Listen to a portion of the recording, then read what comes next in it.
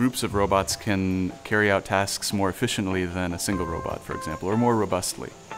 The, the trick to making these things work together is really to combine uh, sort of different knowledge domains. And those, the main knowledge domains involved are control theory, so how should the robots move themselves to get to where they should go? Then communication, so what information should they share with one another to, to make that decision about where to go? And then finally, computation, intelligence. Once they've gone there and taken measurements, how can they share their measurements and come to some conclusion uh, about the state of the environment or what to do next? We're thinking about, for example, using systems like this for search and rescue. So, for example, after there's an earthquake, we can send in a group of autonomous helicopters. They can survey the damage from, from, a, from a remote perspective. And then we can also think of sending in teams of ground robots to assess the damage in detail.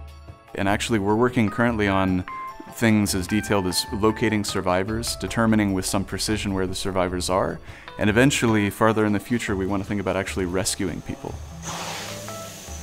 The College of Engineering is really kind of a rising star in the world of engineering research.